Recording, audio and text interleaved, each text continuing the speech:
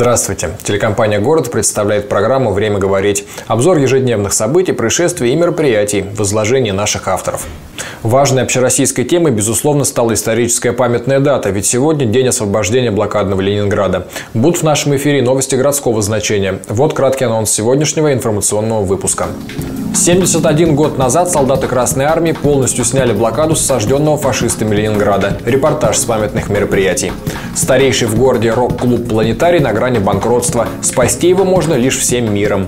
Ну а теперь обо всем подробнее. Сегодня на расширенном заседании правительства Рязанской области губернатор Олег Ковалев заявил, что форсировать принятие решения по концессионированию водоканала не следует. По словам главы региона, единого мнения по возможности передачи в концессию муниципальных сетей водоснабжения и водоотведения пока нет. В этих условиях считаю, что форсировать принятие решения не следует, потому что выходить с новым проектом можно только при поддержке общества, которому еще надо объяснить, чего и каким путем муниципальные власти хотят добиться, сказал губернатор. Также глава региона предложил продолжить работу над конкретными пунктами проекта концессионного соглашения с тем, чтобы минимизировать риски, а параллельно заняться финансовым оздоровлением водоканала, повышением эффективности и качества работы предприятия. Если не готовы концессии, это уже я к городским властям обращаюсь, то управляйте муниципальным предприятием таким образом, чтобы оно не развалилось и чтобы оно не искало виноватых где-то на стороне. Потому что вы собственники, и э, вы должны эффективно управлять этим предприятием. Чтобы э, люди э, не получали сюрпризы в виде вонючей воды, а потом им рассказывали про какие-то водоросли, которые эту вонючую воду сделали – чтобы люди не писали жалобы и как можно меньше было всяких перерывов в воде, связанных с аварийными ситуациями. Чтобы не относили на граждан те издержки, которые э, в результате порыва водоводов э, и вода уходит на рельеф, а потом это все относится на граждан. Вот в этом плане э, необходимо будет э, серьезно работать. Губернатор дал поручение изучить опыт других регионов, где введена концессионная форма управления муниципальными коммунальными предприятиями и учесть его при дальнейшей работе. В нынешнем 2015 году вся Россия будет отмечать 70-летний юбилей победы в Великой Отечественной войне. Потому и события, связанные с такой важнейшей для существования страны и ее народа битвой, приобретают широкий размах. Сегодня 27 января. И в этот день, в 1944 году, бойцам Красной Армии удалось полностью снять осаду с блокадного Ленинграда. После освобождения города жители северной столицы, исхудавших и потерявших сил, отправляли в более южные области.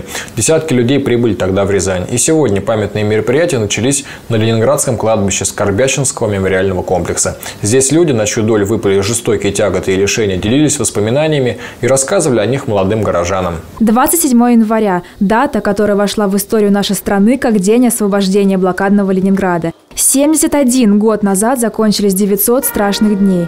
На Ленинградском кладбище сегодня почтили память погибших во время оккупации взрослых и детей. Ветераны войны и рязанские школьники возложили цветы к монументу и почтили память погибших минуты молчания. В этом году, в преддверии 70-летия победы советского народа Великой Отечественной войны, является э, особым событием. И э, полное окончание или снятие блокады Ленинграда является, естественно, таким главным событием э, во Второй мировой войне. Наравне с э, Сталинградом Сталинградской битвой, Курской битвой.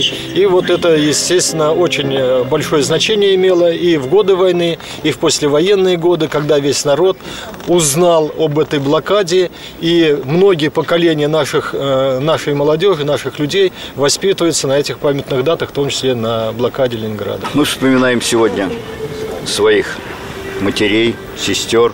У меня блокаду умер дед, умерла сестра, погиб отец при Первой войне. И у нас, у многих остались там э, родители, наши корни, наш родной город. И мы вспоминаем вот страшно и не хочется вспоминать. Мы вспоминаем то хорошее и светлое, что мы победили, а сегодня у нас День Победы, сегодня у нас праздник. 8 сентября мы сюда собираемся как день начала блокады, 21 числа начала войны, а сегодня у нас праздник, что мы выжили, мы остались живы. После традиционного памятного мероприятия ветеранов встретила библиотека имени Горького. Здесь они согрелись горячим чаем и продолжили вспоминать страшные годы блокады, радоваться тому, что могут сейчас поделиться с нами историей своей жизни. Завершился день открытием выставки «Победы. Соленый вкус». Блокада Ленинграда, начавшаяся 8 сентября 1941 года, длилась почти 900 дней и была снята 27 января 1944 года. Все это время единственный путь, которым доставлялись продукты в осажденный город и вывозились дети и тяжело раненые, был проложен по льду Ладожского озера и назывался «Дорогой жизни». Блокада была прорвана 18 января 1943 года, но до ее полного снятия 27 января в 1944 ленинградцам пришлось ждать еще целый год. За годы блокады погибли по разным данным от 400 тысяч до полутора миллионов человек. Только 3% из них погибли от бомбежек и артобстрелов, остальные 97% умерли от голода. Вряд ли мы до конца поняли меру подвига блокадного Ленинграда. В здравом уме не укладывается, как в таких невыносимых условиях город жил, работал и защищался от фашизма. И в нынешней политической ситуации создается впечатление, что нам удается открыть этот ящик Пандоры, казавшийся закрытым намертво ценой жизни наших предков. Общаться со своими ровесниками из районов Рязанской области будут и студенты вузов. Вчера стартовал традиционный поход «Звездный». Его маршрут пройдет через 14 районов области и посвящен он 70-летию Победы. Студенты рязанских вузов отправились в традиционный 43-й по счету «Звездный поход». Торжественный старт был дан 26 января у памятника Полетаеву. Ребята посетят 12 населенных пунктов нашей области. Всего в походе примут участие 277 студентов. Они пройдут по местам боевой славы региона, ведь сам поход будет посвящен 70-летию победы в Великой Отечественной войне. Звездный поход займет две недели, продлится он до 10 февраля.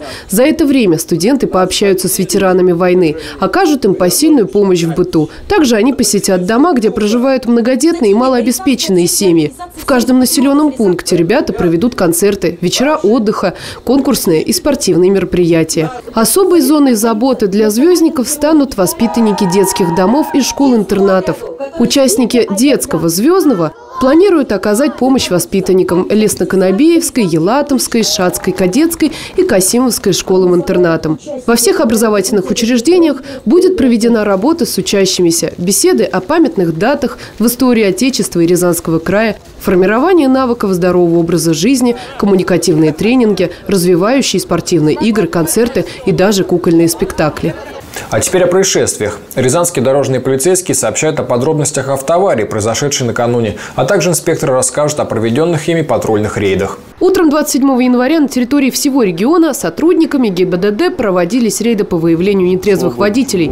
В поле зрения дорожных полицейских попал автомобиль Toyota Corolla. На указание инспектора остановиться водитель иномарки лишь прибавил газу. Началась погоня. Несколько раз совершил касательный ДТП данный водитель э, со столбом и с деревом. На улице Тимуровцев погоня прекратилась. Беглец попал в тупик. Нарушителем оказался 24-летний молодой человек. 24-летний э, житель города Рязани, уже неоднократно привлекающий, привлекавшийся к административной ответственности. От освидетельствования на состояние алкогольного опьянения юный правонарушитель отказался. По его словам, так нестандартно реагировать на дорожных полицейских его научили в автошколе. Тут уж, как говорится, и смех, и грех.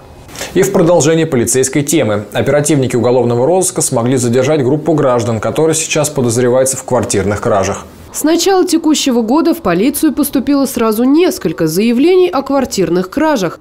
Проанализировав обращение граждан, полицейские выяснили, что схемы ограблений во всех случаях были схожими. Воры, взломав замок, проникали в жилье и похищали дорогостоящую технику, деньги и ювелирные украшения. При проведении оперативно-розыскных мероприятий сотрудники Управления уголовного розыска регионального МВД совместно с коллегами из городских отделов полиции задержали подозреваемых в совершении серии квартирных краж. Ориентировки на квартирников, которые были составлены благодаря установленным в подъездах камерам видеонаблюдения, Оперативники разослали во все подразделения полиции области. Несмотря на то, что подозреваемые учли этот момент и попытались скрыть лица, полицейским удалось разглядеть значимые детали одежды и манеру движения воров. Вскоре выяснилось, что к преступлениям могут быть причастны 32-летний житель Ряжска и его 30-летний знакомый, житель Нижнего Новгорода. Оба были ранее судимы за аналогичные преступления. В настоящее время в отношении задержанных возбуждены уголовные дела по фактам краж – Злоумышленников задержали. Полицейским удалось изъять лишь часть похищенных ценностей. Подозреваемые заключены под стражу и дают признательные показания. А теперь к новостям законодательного характера, которые пришли только что. Стало известно, что Государственная Дума готова смягчить законопроект о рекламе на так называемых платных телеканалах. Депутаты Госдумы во втором и третьем чтениях приняли законопроект, позволяющий платным телеканалам транслировать рекламу. Эту новость с радостью встретили работники всех кабельных телеканалов страны, чье существование оказалось с начала января этого года под большим вопросом. Дело в том, что еще летом в федеральном законе о рекламе появились поправки, которые разделили каналы на платные и бесплатные. Так вот, тем, кого признали платными с 1 января 2015 года, запрещалось размещать рекламу. Однако же не секрет, что рекламные деньги – это двигатель всей медиаиндустрии. Соответственно, из-за такого запрета закрыться должны были, по мнениям различных экспертов, более 400 каналов по всей России. И вот, когда наступил час X, то есть начало января 2015 года, Думский комитет по информационным технологиям внес поправки в закон о рекламе. Теперь платные каналы смогут транслировать рекламу при условии, что три четверти контента, за исключением рекламы, будет попадать под понятие национальной продукции. Закон этот принят, потому что фракция ЛДПР выступала в Государственной Думе при, против принятия подобного закона о запрете рекламы на кабельных э, региональных средствах массовой информации. И сегодня этот закон принят, который позволяет снова заниматься рекламой на данных телеканалах. Теперь документ направлен на утверждение в Совет Федерации, и сенаторы должны рассмотреть его 28 января. Следующее известие, возможно, заинтересует всех поклонников альтернативной музыки в городе. Старейший рок-клуб «Планетарий» сообщает о весьма плачевном финансовом положении, и руководство заведения проведет в этот четверг, 29 января, благотворительный концерт за будущее рока Рязани. Подробнее о мероприятии и перспективах рок-музыки в репортаже Натальи Новиковой. Рок-н-ролл мертв, а я еще нет, пел некогда Борис Гребенщиков. Это было в те далекие времена, когда интеллектуальный рок переживал свой рассвет в подвалах советского андеграунда. С тех пор много воды утекло. Борис Борисович по-прежнему здравствует, а риторический вопрос, жив ли все-таки рок или нет, по-прежнему актуален. В нашем городе дела с рок-музыкой, в общем-то, всегда обстояли неплохо. Что неудивительно, ведь мы много лет являемся, по крайней мере пока, счастливыми обладателями настоящего рок-клуба. Мало кто знает, но арт-клуб «Планетарий» входит в список крупнейших рок-клубов России. В плане выступали практически все известные рок-группы Москвы и Санкт-Петербурга, да и зарубежные звезды рок-н-ролла тоже не раз посещали клуб. И вряд ли найдется хоть один рок-клуб, который просуществовал бы столько лет. В апреле планетарий отметит свое 17-летие.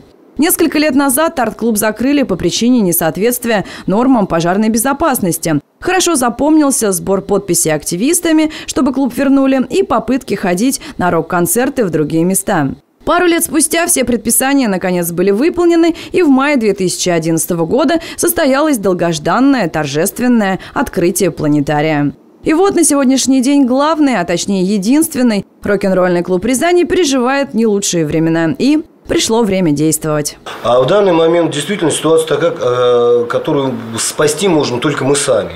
То есть, если мы задумаемся над тем, что да, нам нужен этот клуб, мы, я имею в виду, любители рок-н-ролла в Рязани, но, по крайней мере, каждый может внести, внести свой какой-то посильный вклад, в конце концов, э, сходить хоть на этот благотворительный концерт. По словам директора, а по совместительству известного рок-н-ролльщика нашего города Андрея Шкуратова, самый старый клуб Рязани, на сцене которого проходило около 80% рок-концертов на грани банкротства. Причин тому очень много. Если вкратце, то люди стали меньше ходить на концерты, а два крайних сезона для планетария были убыточными. И теперь быть планетарию или не быть, решать только нам с вами. 29 января в рамках благотворительной программы СОС состоится большой концерт, на котором выступят лучшие рязанские рок-группы.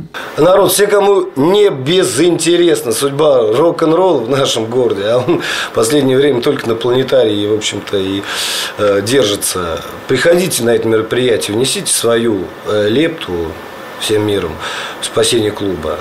Иначе останетесь без рок-н-ролла.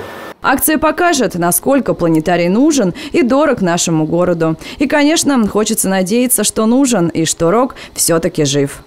Напомним, что концерт в планетарии пройдет 29 января. И это было последнее сообщение сегодняшнего информационного выпуска новостей. Далее в эфире программа «Подробности». Гостем студии стал глава регионального отделения Пенсионного фонда Геннадий Пашин. И речь в беседе пойдет об основных направлениях в работе сотрудников Пенсионного ведомства в нынешнем году. А на сегодня это все. И до встречи в эфире.